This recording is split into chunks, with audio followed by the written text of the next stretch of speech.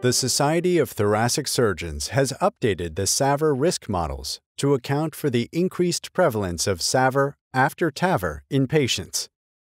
STS leveraged contemporary national data from the STS Adult Cardiac Surgery Database between 2012 and 2023 to analyze outcomes of SAVR after previous TAVR. 5,457 patients were identified with the majority requiring explant of their TAVR device and SAVR with or without CABG.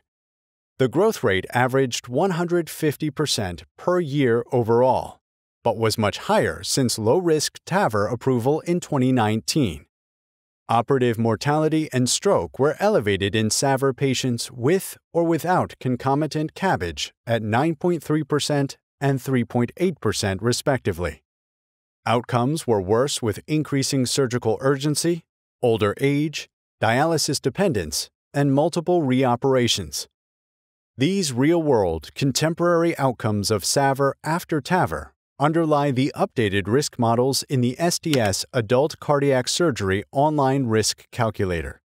This mobile friendly tool provides essential data to inform heart team decisions particularly if TAVR is to be considered for any younger age or lower risk patient, and any patient without evidence studied in the low risk trials.